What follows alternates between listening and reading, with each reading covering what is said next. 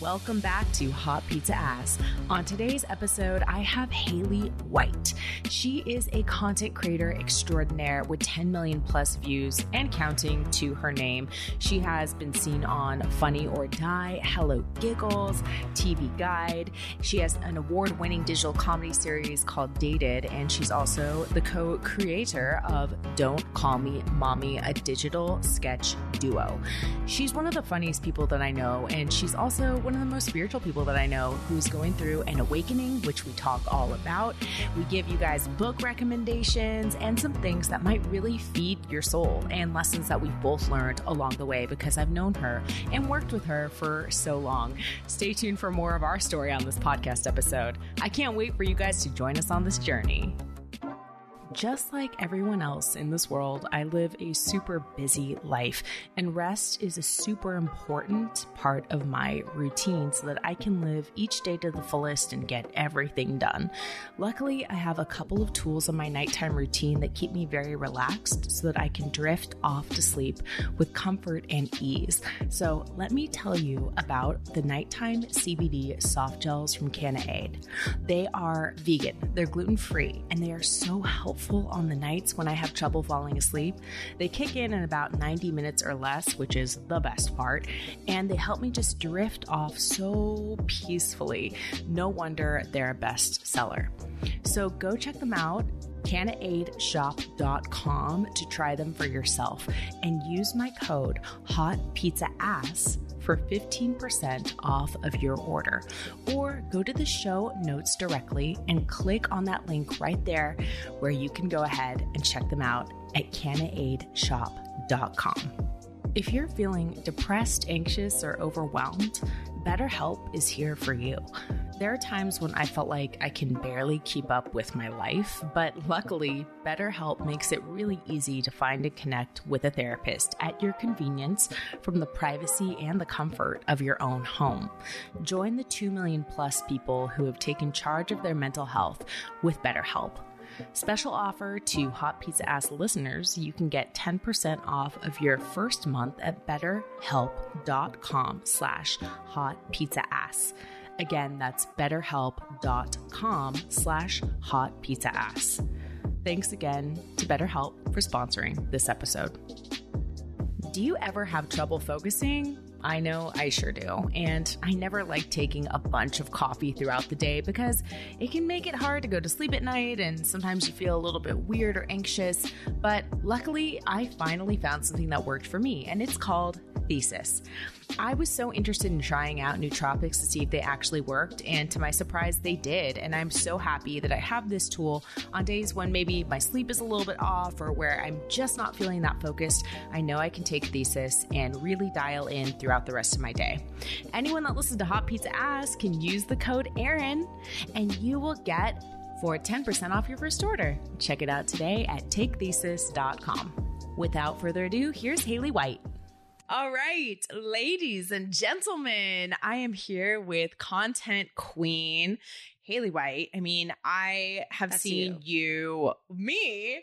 You're at like 10 million views and counting. You have written content, hosted content. You're an actor. You're a comedian. You oh are my a director.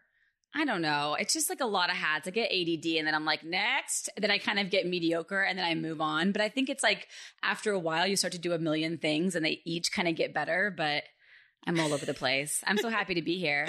I know. I'm so happy to have you. I've been wanting to do this episode for a really long time. We go way back. Yes. We actually just started talking before the show and I was like, let's save it. Save the juice. yeah, we met. Uh, I mean, I was like in my early 20s. That was my first job out of college, other than TMZ. I was at TMZ for a short period of time. That's exciting. so exciting. And then I ended Was up like Paris Hilton days? Was that you? Like back? more Lindsay Lohan Okay. era. Yeah, That's right. I might be like a scotch ahead. I came out a few years before you.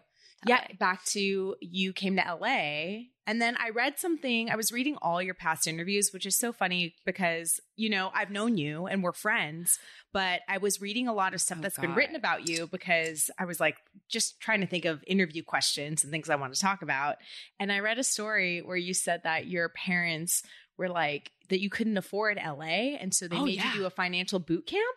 Oh yeah, it was called financial rehab. Rehab. By the way, it was run at the church. Wait, this is a real thing? I This thought that was like a metaphor. No, no, my car got so it was really a you know a series of an unfortunate events. My car got towed for probably the eighth time, and I was like twenty nothing, and they wouldn't bail me out, and they're like, "Come home," and so I moved home and got a real job, whatever that meant. I was like just pitching like like commercials, like liposuction commercials. Like it was so wacky. And I lived in the basement. with your parents in Colorado. yeah. And then I like saved up money and came back at like 23. Yeah. So, I mean, first of all, that's impressive. I feel like you probably learned a lot. And also, good on your parents for being like, listen, come home, learn this responsibility stuff. Because, I mean, that it's so hard to figure out how to make it in LA, especially when you're super young. Oh like, my I remember I was juggling all these shitty jobs, like bartending. I we did worked everything. We knew each other in this phase of life. I We did know. every job. every job. And I then, mean- and then the stuff that we were doing, we weren't getting paid for No. as hosting. Erin Like, and I were hosting a show together about like entertainment news. They kind of like let us do whatever we want, probably because we weren't getting paid. Yeah, I got paid $10 an hour at that job when I was hired to produce, but as talent, I got nothing. Insane. Yeah. I didn't have benefits. I didn't have anything. I just got paid $10 an hour. It's really insane to look back on that and we were just like, yep, we'll do it. I know. We But made you gotta kind of have that little that you gotta have that crazy fire. Yeah. How many people that like we've known from that era are still out here doing it? Yeah, I I mean, mean I feel like everyone I know from that era that was doing what we were doing shifted into like content, like digital content creation Right. or influencer work. right? Yeah. Mm-hmm. So here we are crushing it. We're crushing it. We still cockroaches of entertainment. We made it. We're going. I had the craziest jobs though. I was a wine angel. I would like zip up this wine wall with a remote control. what A was- wine angel. I was a manager and I would just order food for the bar. I was like terrible. All my friends worked there. I'm like, what do I want to eat tonight? I mean, I worked every job in the restaurant industry. High stakes like poker games where the guys would like tip you in chips and stuff. Yeah. It's crazy. I was so young and just kind of like wild carding. I mean, nothing happened bad, thank God. Yeah, I did brand influencer work. Oh, yeah. I would do booth babe stuff like at Comic Cons. My lord. It's yeah. So it's gonna get the podcast is gonna get better from here. that was a dark, dark time. no, fuck that. Because you know what? That's why I'm a writer. I always say, like, no one wants to hear about how easy your No. life is and how gla- and how great it's going. Boring. I'm like, you know what? I got content, honey. Like, I got stories and I got content. She's got grit. You She's been know? through it. Yes. But also as part of it, it's like you gotta have you gotta kind of find your own lane too, right? Like even this whole podcast, you have to start something yourself. It's really it's all about that. Yeah. And that's something you've been fantastic at. Like through every pivot and change that you've made, I really like that you've been able to retain autonomy of the things that you've done, whether it's like working in a comedy partnership or creating your own, like, essential, like your Don't Call Me Mommy is Yeah. essentially like you're like a content hub. You get Yeah. paid to create ideas for other companies, which is amazing. Yeah. I mean, I was Yeah. in advertising also while I was making content for free. And I was like, God, I would write the commercials and I would see how these ideas would get watered down as a copywriter. And I was like, I'm producing content on the side. I can Mhm. write. So I just started writing like little branded things. Um, and now we're finally getting commercial stuff. But, anyways, it's been a journey. I'm excited. There's so many things I want to do now. And I'm like, you know, on this whole spiritual awakening, whatever that means. So Yeah. I mean, let's talk about spiritual awakenings. you got to go through some shit to get to a spiritual awakening too. I feel like COVID was such an intense time for everybody. Mm-hmm. You know, it just like forced us to go in and really like look at our souls. Right. What was like the moment for you where you were like, okay, I feel like I'm looking at my soul? it was like different levels of that because for a while I was so I was directing a lot of branded content, commercials, I was pitching TV shows. And then when the pandemic pandemic happened, I was like inside with like my iPhone like shooting stuff and I was just like my husband's like making real business calls. I'm like, "What happened? Who am I?" But on like Yeah. a deeper level, I just think that we can bury ourselves in busyness and being booked and you're constantly just so busy that you don't even take time to like really look at things, you know? So with my content and with my my work in the world, I just there's so much I want to say, there's so much I want to learn and there's there's so many people I want to support essentially. So I just kind of like dug myself deeper into like really studying um psychology and and consciousness and so you went through like a spiritual boot camp yeah. kind of. Yeah exactly. Yeah. And you're coming out like a warrior princess. Hell yeah. Well i was like i don't know if it's spiritual but it's like it's like i just want to understand like why we're here. Mm-hmm. like i mm-hmm. wanted to really have a greater understanding. I grew up like christian where it's a lot of it's a lot of fear. It's a lot of no's. It's a lot of obscure bible verses that do not work currently. And i'm like this just doesn't make sense. Yeah. You know? Like in today's world how do i even make this relate to my life? Yeah it's just so much bigger than that. So um i just started like reading a lot of books and understanding like kind of what's we're learning uh, through science. And it ends up crossing through spirituality because we're kind of catching up so yeah. So are you talking about like consciousness? Like what? What are exactly? You're like we came on for one thing and we are going there. um. Well, it's the idea. I mean, understanding that like I think for anyone who's listening, I just want to make this like this something you can like really take something from is like we are not our thoughts, right? Like our brain is working here, saying all this crazy shit, telling us what we aren't and what we should be but like true consciousness is like kind of the idea of like that's what meditation is like coming out of your brain and observing your thoughts mm-hmm. and being like i am not my thoughts mm-hmm. because my thoughts drove me to like a deep depression and then i was like i had to really learn how to separate that yeah. and like control my crazy brain mm-hmm. you know yeah i mean it's kind of my hot pizza ass journey too it's like growing up or having identifying so heavily with my body and having people tell me like what size I should be and what I should look like and having this idea of what I should be and then realizing like oh it's not I can be whatever I want and I don't have to like internalize these things and these thoughts that I'm having they're not even my thoughts. They're like everyone else's thoughts. that's it. Same for me. I like somehow because I was t- I'm tall, my body's like a rectangle. It's you know not made for modeling, but I was really lanky and tall. And they're like, if you can lose 25 pounds, you could be working internationally. I was like, what are you talking about? 25 pounds? Yeah. Ooh. But it's one of the same same, and I always felt like it wasn't quite right. My body just wasn't quite right. Mm-hmm. But you start to realize, and that's what this is: is like you can say spiritual, but really it's just an awakening of being like fuck all this programming that ever told us that we weren't enough. Mm-hmm. That's that's it. And like that's what this podcast is all about, right? Like yeah, rewriting that programming and that shit's in there deep. Like those neural pathways are like in there. So it's it's work, but it's worth it. Absolutely. So, what do you find is the most effective for you to kind of break out of the matrix? Yes. Ooh. Yes. I'm like, career, blah, blah, blah. Let's talk about our brains and the matrix. Well, it's really interesting because, you know, what I've been learning a lot about is the idea that our brain, the more that it thinks a thought, that kind of creates a behavior and that creates a feeling. And we kind of just stay in that like loop, right? And for us to change really our thoughts and and it really requires us to forcefully do new things every day. And so for me, it's like learning something new, like truly. And people will say meditation, and I think meditation's helped me a lot. It's very hard. Mm-hmm.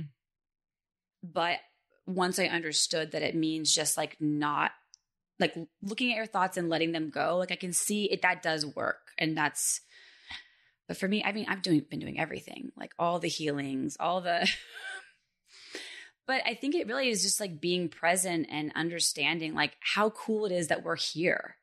Like we're literally made of stardust. I swear I'm not stoned. This is actually how I talk. yeah.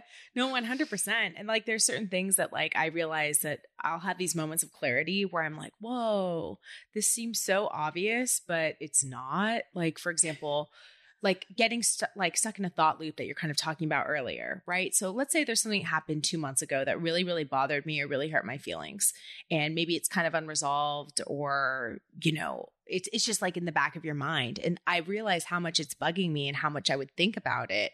But then I had to get to this point where I was like, you know what? I'm none of those things are affecting me today. The only thing that's affecting me today is me thinking about it. Right. Like and you're I- giving it, the more you think about that, you're giving it power. Mhm. So it's even just becoming like on like like the most basic level, like conscious of your thoughts. I think when we're like numbing out and we're like, you know, busy with work and there's just never a break, you know, I think that's what COVID was for a lot of us. It's like you kind of become hopefully more conscious of like what's going on. Yeah. Seriously, when you spiral at all or get obsessive with stuff, how do you break your thought? Um, you know, that's interesting because that was kind of my like Achilles heel. Mm-hmm. like I'm I feel so much and it's a blessing and I think it allows me to be so creative but it can be it, my greatest downfall. So honestly for me it's being with my son and the other thing would be smoking and weed and going in nature. oh this is a funny story. My therapist was like you just need to go scream in nature and I was like okay. so I went on a hike and I just finally found a little spot in Fryman Canyon that wasn't around much and I just like let it out. I just needed to scream. What type? What type of scream was it? Like a, ah, or was no, it like a, oh, no, like no, a oh, guttural? it was it was raw. like that. It was raw and guttural. And someone came running. And they were like, Are you okay? Are you dying? Did you get attacked? I'm like, I'm so sorry. It's been a long week. I was so embarrassed. But um, I thought that was just like, wow, of course. That but the thing, great content. Yeah. See? Yeah. I just think it's important for us to to kind of like all become aware of our we all have a really sounds so cheesy like you said but it's like we really need to own our own sh- shit and it's not about healing as much as it's like clearing out the muck that ever that that told you that you weren't enough that's really what it is like just clearing it away you look at a baby and they just stare right at you and don't break their gaze. It's just this pure consciousness. Of course, now that's very creepy. Don't do that. But it's like, and someone will get very creeped out. Like, what the fuck are you looking at? Yeah. Don't do it unless it's your baby. Unless it's your baby. Then it's all good. That's all you do. Um, but yeah, it's, it's just, it's just, I think it's an interesting time because as, as a collective, I do think people are looking for something more. yeah. You know, we check the boxes, you know, and you can see like, you know, money isn't everything. It does buy happiness sometimes. but it's like you start to check all the boxes and you're like, okay, now what? And I think that we're we're all starting to go inward and realize like that's that's where the good shit is. Yeah. Why am I so focused out here? Like there's so many levels, you know? Absolutely. Um, what are the books that kind of changed your perspective? Mm. Well, I guess in this category, um, well, there's a lot happening, and maybe it's another podcast, but there's a book called Mating in Captivity by Esther Perel. Mm-hmm. I was going through a whole experience with my husband. I think with any relationship, you have chapters and ebbs and flows, and um, that book like changed my life because she's in on the psychology front, like, and then I think like with the neuroscience stuff, I read a lot of Joe Dispenza. I watch a lot of podcasts. Um, I think, you know, just checking your sources and making sure like they're not as biased. I just like I like to learn the science of it and then kind of take my own, you know, Yeah. take on that. What Joe Dispenza book was like your favorite? I I- love him too. I don't even know the titles of his books. I just have like I just save little pieces. So I don't have one, but I was just listening to like all of his podcasts that like he was on um he did this conference that was so incredible because he basically breaks down like how to manifest in such a clear way with science. And that's all I can think about right now because I was listening to it the past 4 days and I was like this is incredible. Wait, so tell me how. Oh my How God, you okay. do this? So this is the trick. Okay. I'm going to get kind of geeky because, and this is this is all Joe. Dispenza, but I I think that anybody listening, and I hope like anyone that wants to like improve their life, I want to have like real takeaways because I feel like that's what it's all about. Yeah, No one cares about what I've done yet, but maybe later. they do. Um, I'm yeah, just no, kidding. like Joe Dispenza is um, becoming supernatural is a great one. Right. Um, I think you are the placebo, uh, breaking the habit of being yourself. Those are three really good places to start for anyone that doesn't know. Yes. or is interested in his work. But I want to hear Thank about you for this actually conference. knowing the titles of the books. I'm Oh, like, I love him. I had a moment where I was in New York and a friend of mine who I actually know through hosting too, um, she met up with me and was like, I kind of told her some stuff I was going through and I was so upset. And she was like, You need to read uh, Becoming Supernatural. It's going to change your life. You're going to love Joe Dispenza. And it really did. And that was a couple of years ago. And I was like, Wow. you know what? That's some of the best, that was the best book recommendation I think I've ever received in my life. It was so good. I feel like I so I've just been reading online like, ch- like chunks of things, and I so that's incredible. I need to read Mhm. the whole thing. I feel like there's so many books right now that are kind of the cross section of like science and spirituality that are really interesting. Um, but I mean, my God. Okay, so where were we? Take me getting back. nerdy about Joe Dispenza Okay, and the conference. That's right. Yes. the science Yes, behind yes. manifesting. My brain has too many tabs at all times, so you have to keep me on track. I will keep you on track. Um, but it's this is so interesting. So I was just like taking some notes, but this is just like what if you want to manifest, and hopefully we all do. Like this is kind of the idea behind it. So we think like sixty to seventy thoughts a day, which is That's it? That's it. I mean, we probably think more, knowing us. We think like six hundred thoughts a day. I mean, no, the sixty to seventy thousand. Oh, okay. I was like sixty thoughts a day. You're like, bitch, I got 60, 60 show ideas. No, yeah, thousand. But I was saying we probably think more. yeah, yeah, yeah. But like 90% of them are the same thoughts as the day we had before. And that leads to like the same choices and the same experiences, Mm-hmm. which like leads to the same emotions In the same life. and the same life and the same personality. So it's this idea of becoming like conscious of those things. And it's this idea in neuroscience that like nerve cells that fire together wire together. So the more that you think one thought, the, like the deeper that groove goes.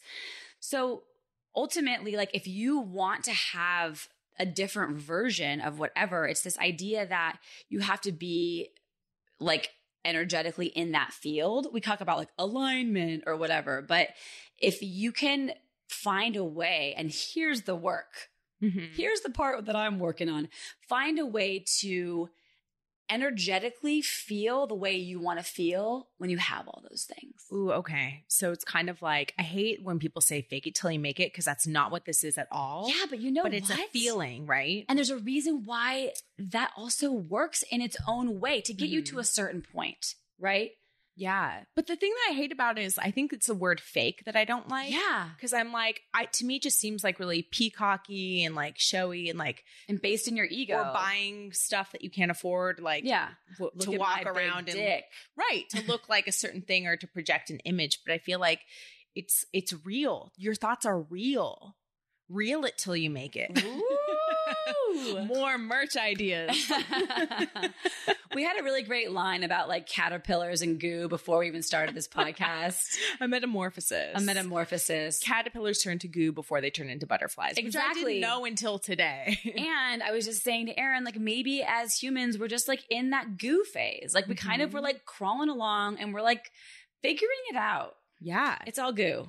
It's all good. We're still gonna try to do this line. We are gonna. Maybe I'll just call the podcast episode "It's All Goo" with, with Haely White. I Oh. don't want to confuse people though. But like I, we have a couple wings now. Like the butterflies is starting. I mean, who gets a butterfly tattoo? I don't even want to say my age. I'm gonna own it at 38. you got a butterfly tattoo, Yup. And you're like, "This is my chapter." My you know what? I I kept seeing these white butterflies everywhere, everywhere, to the point they were like cir- encircling me in my yard. And so I looked it up, and it was really beautiful. It was like your angels are here, you're supported in your mission, and it was like this kind of affirming thing for me. Which it's butterflies seem very cheesy as a tattoo. I get it. I know you were judging me, don't judge her. but you know, no, don't judge me for sure. I'm like here for it. I'm like. That's great though. Um, yeah, I mean, I just got my first fake tattoos. So wait, is that the triangle one? Yes.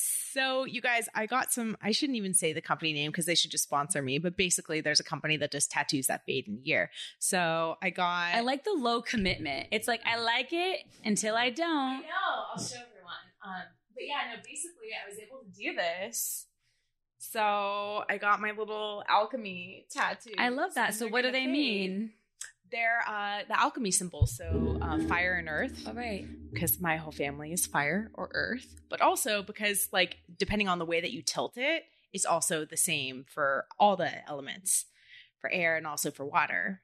You're you are you are everything. I'm like an elemental X Men, basically. is what I'm saying I'm like calling the power of all the elements so I can get some shit done. Hell yeah. Yeah. You're the fire though, right? In your family, are you the fire? I'm the fire. You're the fire too. I know. I drove my parents crazy, I think, as a kid. So is your son now tormenting you in the same way you tormented your parents? Uh, different ways. Yeah. No, I know, but it's interesting. It's interesting to raise a kid and being, this is also it, being hyper aware of how you show up as a person yeah. because they're modeling that. Like I did this thing with him where I didn't even say what a bad word was because I just thought, because I kind of openly cuss, obviously. And I was like, I just didn't want him to associate what's a bad word. So he never even knew until he went to kindergarten and started like learning. He's like, Mom, you say that. And I was like, Oh. Mom, you say bad words. I never acknowledged it, but it's like when you're molding a person, you just realize they're always listening. Anyways, so yeah. Yeah. it's like it's like it helps you kind of be more aware of who you are. You're like, okay, I better shift that thing I don't like so much that you're doing now. So, So, at what point in your parenthood journey are you the most cognizant of that? Is it does it start Mm. right away when they're little little or is it kind of when they start talking and you start seeing it? it's when they start talking and going like he rolls his eyes and I'm like, what's this like throat thing? I'm like, oh my and weird things. He'll just say weird phrases. He called me broski yesterday. He called you broski? Yeah, and I Like, what up, dude? He's like, broski, what time is it? And I was like, don't call me broski. Do I? And I was like, Dave's like, you probably call him broski. And I'm like, do I call him broski? So it's things like that. You just, it- but it's like deeper, you know, and you're like, oh God, you're still listening, huh? Okay. I know they say like relationships are a huge mirror for yourself, right? Because you see your own stuff and you can blame it on the person or you can take responsibility and do some inner work. It must be like that times a hundred when you have a kid because it's the same thing. It's like, uh, well, Yeah. And they're like more of an asshole, like screaming back in your face in front of other parents. And you're like, oof, all right, I'm going to stop yelling. like that was something I had to do because I, I I think I grew up in my family.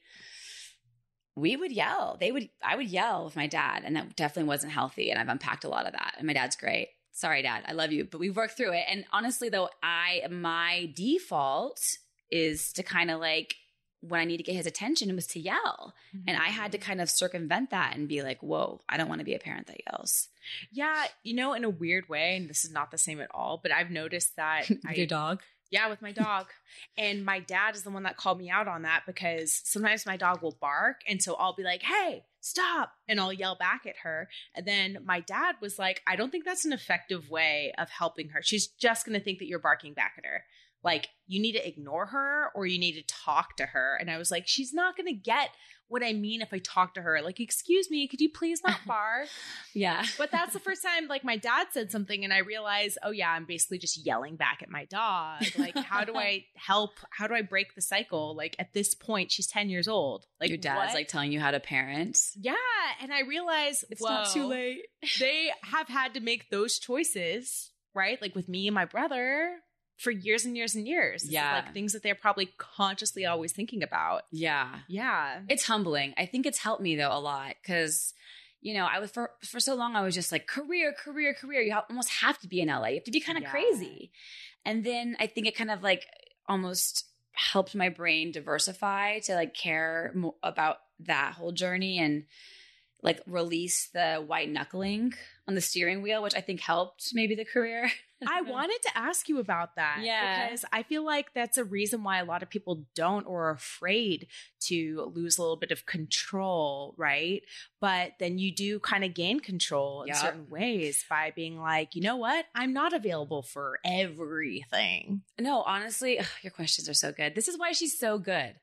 Um, no, you're really good. It's it's so interesting though because I have now talked to I I love female entrepreneurs. I end up doing a lot of like hosting and moderating with them, and I just I'm so you know we're all passionate about dope chicks who do dope shit. So, um, one common denominator I found was a lot of them launched their businesses after having a kid. Mm-hmm. So whatever that factor was, like, uh, your time just becomes more precious, or you have to really think about what you want to be doing. Like for me, advertising was like it was actually quite lucrative. It was very easy at, at that time. I'm sure there's lots of advertising jobs that are harder, um, but you, it was just nice to kind of really think about like what do I want to talk about now? And for me, it was like, oh, this is this is crazy, and no one's talking about parenting yet in this way. And so I just started making content about that.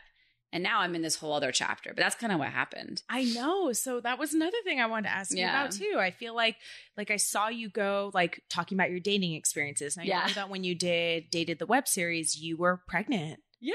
yeah. So Look at you. it's like I saw I you was pregnant. through yeah, all of these. You were six months pregnant when you I was, filmed and I was playing this like we did a series um that did some festivals and stuff, but I was like playing a single girl, and so and the production kept getting extended. I was like hiding behind a pillow and schlepping furniture all over the place.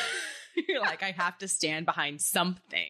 yeah, but yeah, Yeah, so you have really evolved in your content and your comedy has kind of really grown with you chapter through chapter. And now you're in this new phase, as you mentioned before, that's kind of like your spiritual awakening. Do you see Yeah. yourself doing content in that vein? Like, how is this going to inform what you do next? Oh, totally. So I have a podcast, hopefully launching soon, but it's all about our embarrassing stories as parents. But then it starts to go into more exciting stories. Like, I mean, that stuff's pretty raw too, but in a different way. But like, we have sex and like we start to kind of go into more. And so that is kind of where I was like, I want to talk about things that are really like that spectrum, like out there and like the Mhm. real shit. And then the other side of it is like, I mean, at the I just want to be able to bring content that matters and some, that says something, and then just be able to like kind of talk about what I'm learning and in a you know an accessible way.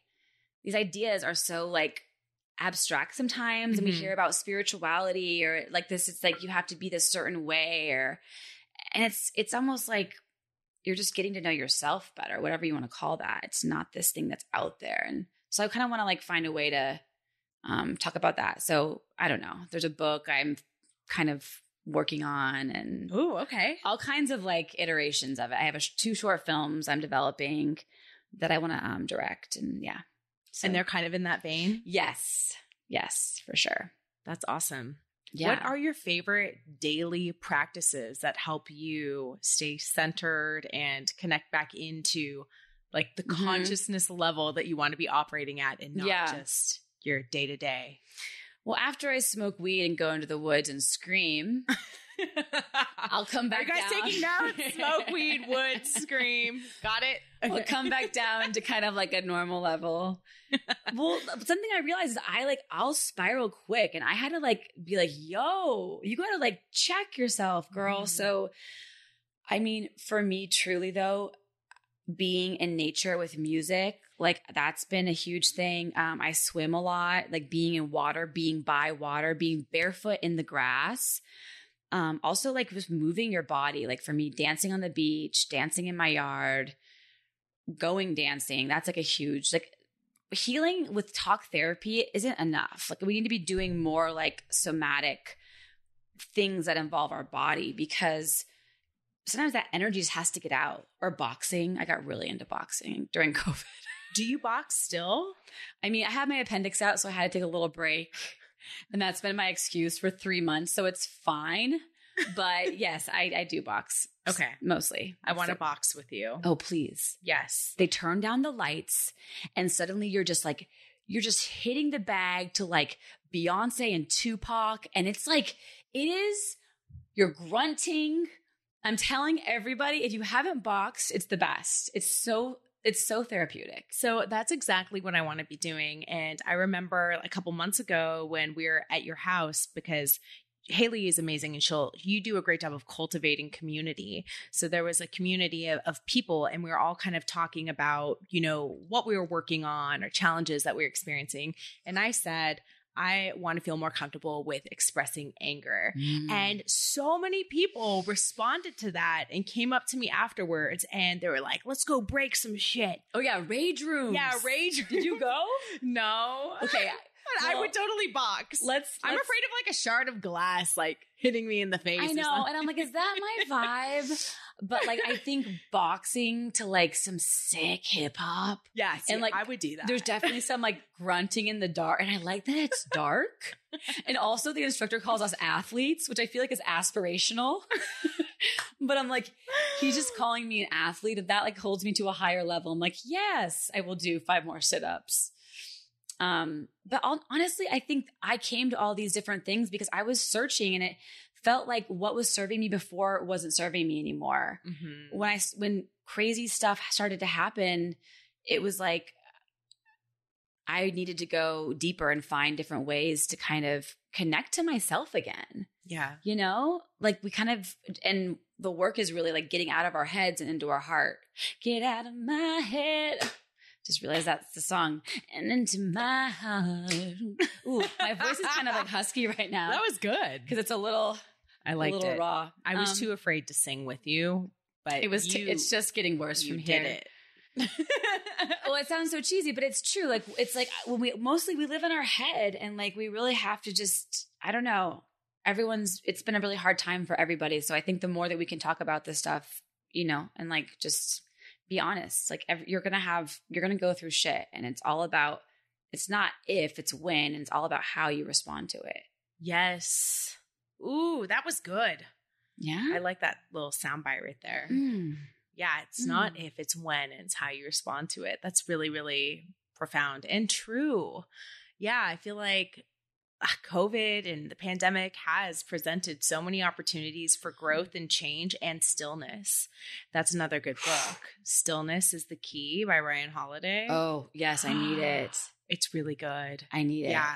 So I'm reading that actually right now and I love that because he he brings so many um historic examples of people who went inward and you know, we're talking about like Winston Churchill. We're talking hmm. about like people that have had really crazy lives or had to make really high pressure decisions that affect not only themselves but like the world.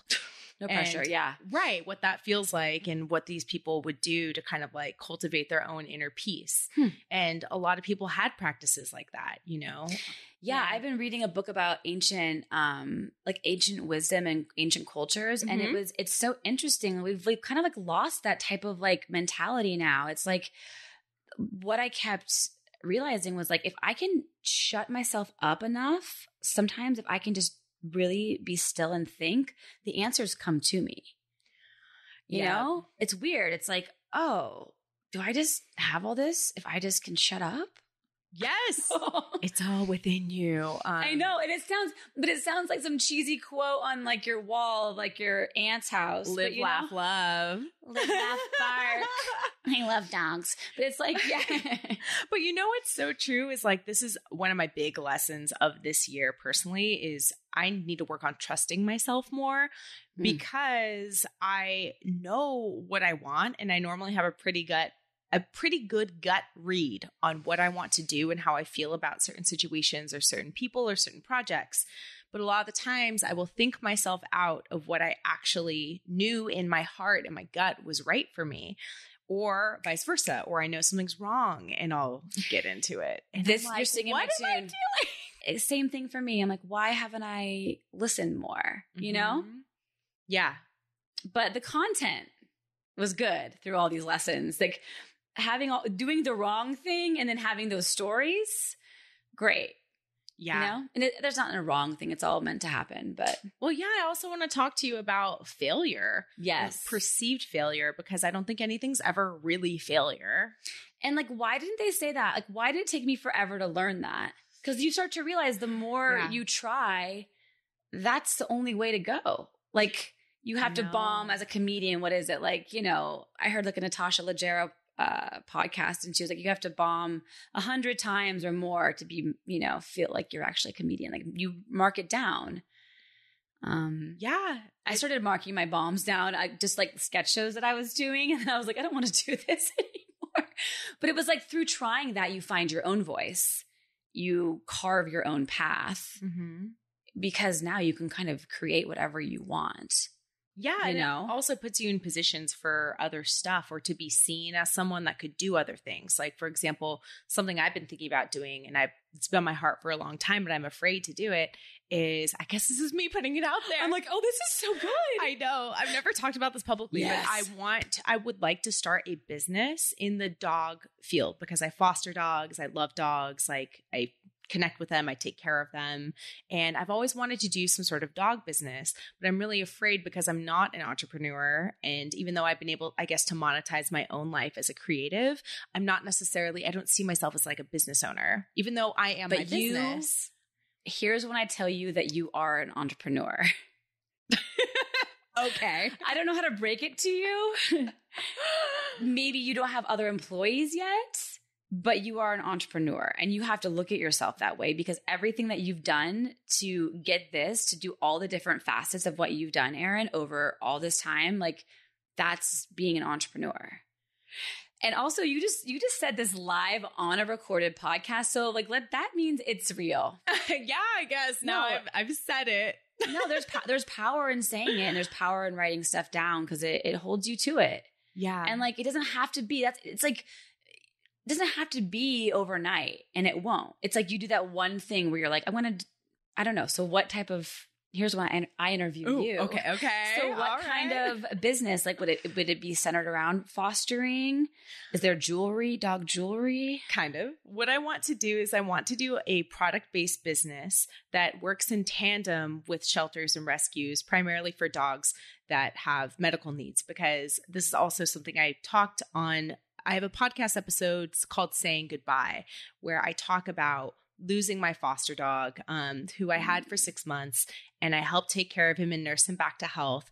And just it was it was great in a lot of ways. It was Yeah. a beautiful experience, but at the same time, like seeing this dog who didn't technically have an owner because I was just the foster and seeing his medical needs and going through that whole journey with him and it was tough. And luckily the foster agency that I worked with is very well connected with a couple of vets but not everyone's that lucky and not every dog is that lucky.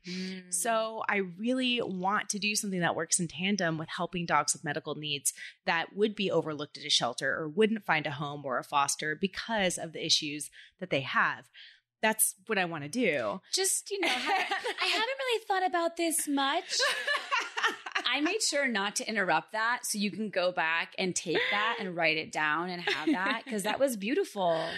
yeah. And that's so exciting. I mean, look, we all are a myriad of things and we're we're we'd be cutting ourselves short if you didn't go for that. I mean, I think we can't be every you can have it all, you can't have it all at the same time, right? Mhm. I tell myself that because I want to do a million things, but I think that's so exciting and so needed. Like it's that's actually my my voice is like like pitching because it's like it's it's beautiful. Yeah, but to kind of like to put that back to what we're talking about with fear and failure and stuff like Mhm. that, like as someone that doesn't necessarily see myself as a business owner Yeah. per se, even though what I do is a business, it's like trying to conceptualize myself in that way, realize that it's okay for me to start slow, realizing that it's okay to like even if it fails or doesn't work out, that doesn't mean that it's a failure. I can still Yeah. build i can still i could hire someone like there's so many different ways to think about how you would potentially run a business or run your life Yeah,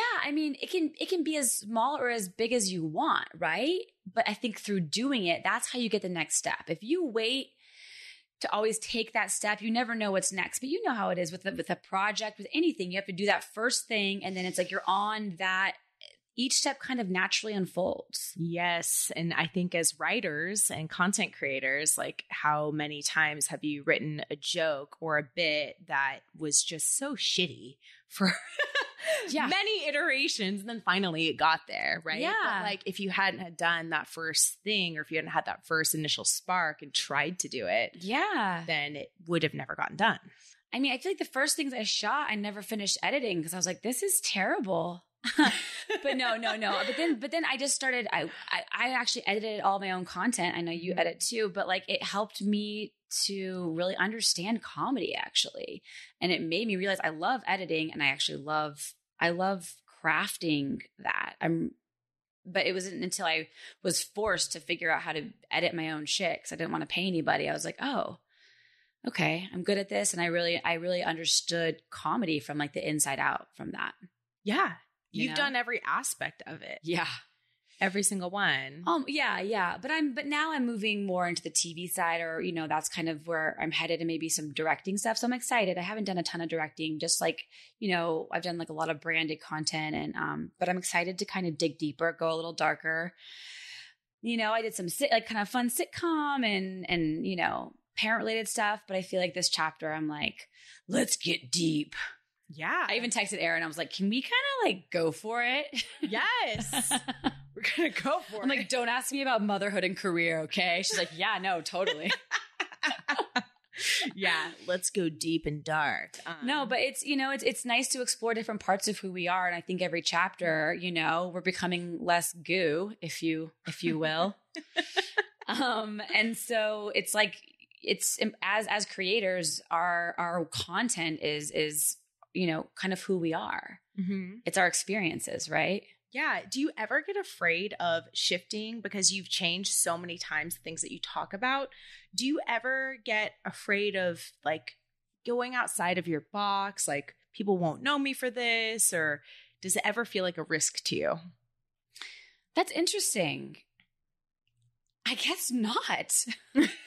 it's weird. It's weird to I love about her. It's kind of weird to have the freedom to go like I truly feel so free right now cuz I have really like I don't know explored who I am and what I want to do and also like what I want to talk about in in this lifetime that I actually feel really free to to have different facets of who I am. Like, you know, I think eventually I kind of want to have you know, a production company or something where I'm, you know, I'm directing some things, I'm optioning, I'm kind of creating content that lives in different ways. And so for me, it's just another arm of that, you know? Mm-hmm. How about you? Do you feel, do you feel like it's a risk to kind of shift from, I mean, I guess, but don't you think your voice is, can go into different arms of what you want to do? Yeah. Yeah, but like here's a good example like for me is that like I feel like my brand is kind of like very fun and very lighthearted in general, but I wrote a short because I had actually with Paul, we have the same healer. You've Oh. gone back? Um yeah, yes. I've met with him twice. We have this really experimental healer that Haely and I both see. Dude, he's changed my life. Just gonna say. So we did a guided meditation, and this is when I was trying to figure out how to express my anger eh, about things I've been mad about, things I haven't processed. Mm. And so he guided me through this meditation, and I had this really dark experience in this meditation, and I really derailed from what he was guiding me to. I had a very different experience. And I came out of it and I was like, oh my God, I need to write this down. And so I wrote a short and it's very dark and it's bloody and it's like I I can like imagine shooting it in a really gritty way. It's kind of like a metaphor of like womanhood. and, like, Yes. giving of our body and stuff like that. Ah, It's I like- like, I gross it. and bloody. And I wrote it and I was like, I'm terrified of this. Like, I cannot believe I wrote this shit. But here's what I'm going to challenge you. Does it mean that you have to produce it now? But no, Mm. it's it's that is also a whole exercise of being able to like look at a part of your subconscious that has probably been buried for a long time. Yes. I feel like, especially as women, I feel like we don't, we're not necessarily encouraged to express anger. Yeah. So, and my problem is that I express it a lot.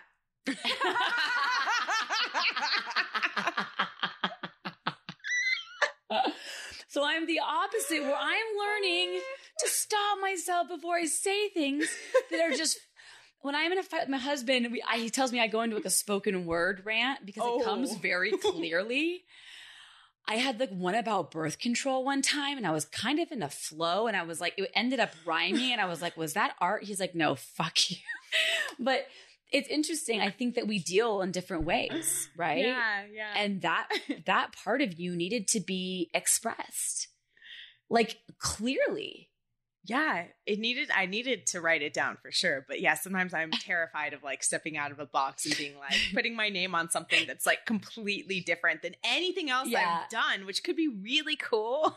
but I, you know what? I'm also all about like the random. If you do it as a short, like what are the stakes? So you raise some money, I don't know, and you or get an investor, so you don't have to like uh, raise money online. I, I salute everybody that has ever done a Kickstarter or a GoFund or whatever. It's just it's a whole journey. But I think I think that our lives are meant to be expressed and have different chapters, and I don't know. It, it doesn't have to be come out now, you know, but it's kind of cool to be like, boom, I made that. yeah. I mean- be naked and covered in blood. Like I have a lot of questions I want to unpack, but we'll say that for a different podcast. but I do feel like my my journey lately has been like we've the feminine it's like the feminine rage. We're just like fed up.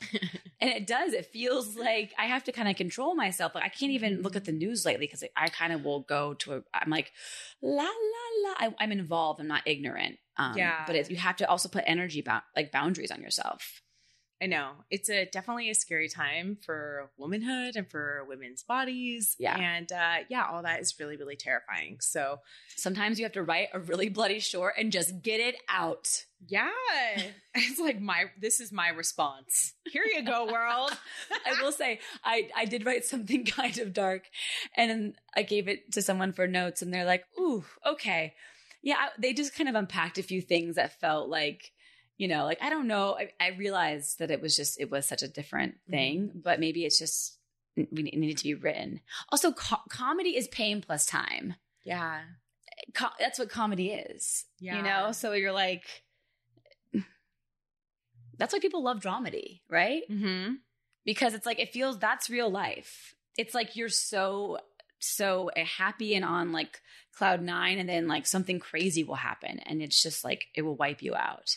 Yeah, And it's like that's what we all experience. absolutely. Do you do that to your characters? Do you like fuck them up? Like, Well, I, well, I always, yeah, no, I mean, I love. I love just really anything that's really raw. We did, we had did like a digital thing and it ended up doing really well online that was like called Sex After Baby and I was shooting it because no one wants to have sex after a baby. Your vagina is broken and no one talks about it. Even at six weeks after when they say it's okay, you're still broken and yeah. And um, I felt like I'm, I'm, I'm like, am I shooting a porno right now? This is so aggressive and weird and like, but then of that series, it ended up performing like really well and getting millions of views. But it was just so funny because I'm like, I think people want the raw stuff. Like that's what comedy comedians talk about, right? yeah, You say what everyone wants to say. Mm-hmm. So I love that. I love the fact that you are not afraid to be bold and to get weird and to like really speak your truth. once you look at the dark parts, there's nothing else to hide. You're like, okay, now what? You know? Yeah. Sometimes I think we're so scared to like look in the dark corners because we're scared of what we're going to find, but it's almost like we have to. And then we're able to kind of move past it, you know? Shadow work. Shadow work. Oh my god. Dark Side of the Light Chasers is another book recommendation. If you want to look into shadow work, have you? Oh no, I haven't. I love Oh. with you with this. I feel Oh. terrible. I want to take a picture of my, my nightstand. I can't even think. I have so many books I'm reading. Like I, I don't even have a title. Like the fact that you can spit them off is amazing. yes. I need that. yeah it's uh it's dark it's all about like embracing your i didn't really understand what shadow work was for a really long time because i was Mm. like why are we going to focus on incorporating these things about ourselves that like could be better or that we don't love and then i realized it's because life is short people and because if you never get to be that version of yourself that you think is the right version or that your mom told you was the right Mm. version or society told you was the right version if you're never able to get to that place then what what are you doing with your whole life like you still have to love yourself like you still have to decide like hey it's okay that i did this thing that i'm ashamed of or it's okay that this is part of my past Right. it's okay if the rest of the world thinks i need to be 130 pounds and i'm 150 Right. like you have to decide to incorporate that shit because a lot of it isn't even your shit And that's what I was going to say. We have taken on stories of everything else, you Mhm. know? And like what you start to realize is it isn't so scary. Once you look at that, you can say, okay, I can understand where that came from. And even if you have family shit, you're able to look at that and say, okay, I forgive them, I forgive myself. But you have to do that so you can kind of like embrace it and be Mhm. like, and it's not even like doing bad things. I think that we're all just, you know, in, in essence, you have programming that you were given, and it's kind of a domino effect in life. And it's, you know, that, that idea that we accept the love we think we deserve, right? It's like you will stay in an abusive relationship after you were abused because it's like what you understand as love. But it's like if you can be the person to break the domino, that's what we need right now Mhm. we're all it's been a lot of dominoes and it's like we gotta we gotta look and just you know take some time and for me i mean i've been in therapy for so long that i because i love talking about this stuff and that's i probably should just like go and get like a psychology degree and stop paying for therapy but but i just i love learning about it and i feel like a lot of my understandings have come from just like 15 years of just like working things out you know Yeah. If anyone needs a therapist, uh, BetterHelp is a sponsor of this podcast. So, better help BetterHelp, you can do it online in the privacy of your own home. Okay. See, God, that was good. Call now. Um, ugh. you know what? That's great, though. I feel like we're normalizing therapy because I look at my parents' generation Mhm. and I look at my grandparents' generation, and it was the generation of like truly don't ask, don't tell. Suck it up, Buttercup. Like you're good. You don't cry, you know, or like you're fine. And I see it because I was raised in a family that was like unknowingly like super loving, but just didn't talk about emotions. And here I am, like this wild ball of just like feeling that came just like, you know, hurricaning through their home. And, you know, it's interesting. It, it, it, I feel like we now are normalizing therapy and normalizing talking about this, and it makes it just makes it real, and everyone can say, "Yeah, okay, cool, I can figure my stuff out." Nothing, nothing is a loss. yeah. We're not broken. Like, if I may, now they're scanning brains to finally get real diagnosis. Uh, for like Dr. Amen uh, has a great TED talk about this, and um, his book I don't know the name because I don't remember names, but Dr. Amen's book um, was all about the idea that that psychiatry is one of the only things that can, you know, diagnose something without looking at the actual organ. Mm-hmm. You know, it's just someone's perceived symptoms. Yep. I'm depressed. Okay. And so what they really started looking at is these parts of the brain that are turned off when they're, you know, a child's drawing scary things. That part of the brain they'll look at is actually not working. So there's now like rehabilitation that can cr- increase blood flow to parts of your brain through vitamins, through exercises. Wow. It's so interesting. And so once I started learning about that, I was like, you know, we just should get the word out. Better help. Call today. yeah, and now we have like a ton Available for hire. A ton of Instagram accounts that people need to follow. Dr. Amen, Joe, Joe Dispenza, I know. Ryan Holiday, Yes. uh, Haely White. Hey, H A E L Y. It's weird. I Yeah. know. Well, I have one last question for you. So I don't want to end. I know, right? I don't want it to end So great. So that little girl, the little ball of emotion, your inner child, Mm. she's still there. So if you could go back to her and tell her, knowing all the stuff that you know now and every journey that you've been on, Mm. to help her understand the world a little bit better, like what would you tell her? That you are not a victim of your thoughts. I wish that I would have known that my thoughts were just something that, you know, came and went. It wasn't like it was me or it was wrong. I think I've I don't know if it was the residual Christian guilt or Christian guilt that's now residual or just my own perceived awareness of myself, but I always felt like I was too much. Um, I felt too much and I would just, my thoughts would just consume me. I, I analyze everything. I think really deeply about things. I, you know, I, I, I just wish I could have realized that, like, you know, I'm so much more than that.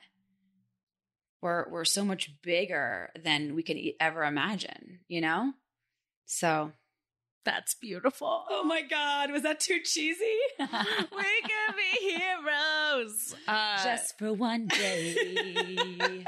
that's perfect. It's a great place to end it. Uh, what a yeah. journey we went on. Wow. Really all over the place. And so, where can people go to find more Haely content?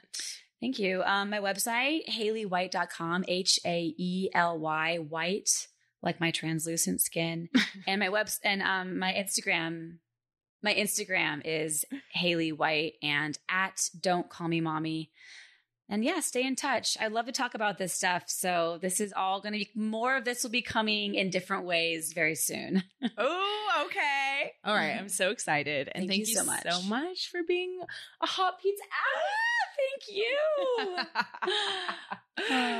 this is awesome. Thank you so much for tuning into this episode of Hot Pizza Ass. I'm so grateful to have you here. And if you enjoyed this episode, please share it with a friend. Also, take a second to give us a rating on iTunes or Spotify because that's how we grow. And feel free to follow me on social media at Darling with 4 H's or Hot Pizza Ass. There you will get updates on the podcast and just my life in general. Stay in touch, guys. Thank you so much for tuning in. I'm Erin. We'll see you next time.